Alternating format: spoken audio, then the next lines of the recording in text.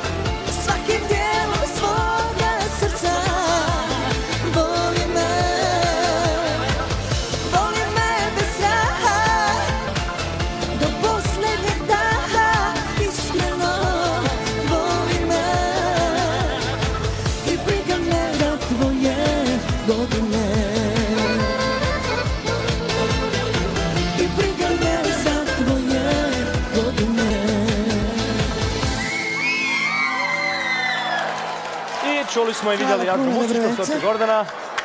Ja sam ostala bez teksta, bez daha. Ja ne znam kako muške, ali ja sam tako se iznenadila. Stvarno, ovo je estrada jedan kroz jedan. Dobro.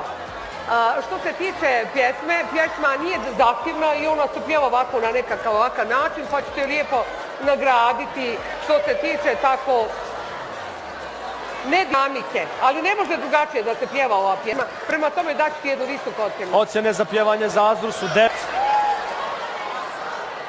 9 i 10. Intonacija. Međutim, što se tiče intonacije, stalno stišla silazno. E, e, e, e. I tu ne mogu više od sedam. Mada bi htjela deset, ali stvarno ne mogu. Intonacija 7. Ja sam vidio u publici da je sve bilo silazno isto. 7, 9, 10. I scenski dojam. Dvadeset. Scenski dojam. A to sam morao staviti slušalce da bolje vidim. Scenski dojam 10, 10. Gospodin Saražin, kao što kažete. A ja moram ostati dosljedna sebi, uvijek će dobiti deset. Da. Dakle, 10, 10 i profesor Cana još jednom da vidimo tu desetku samo. 10. Hvala profesor Cana, 10, 10, 10. Bravo. Hvala mnogo Azra.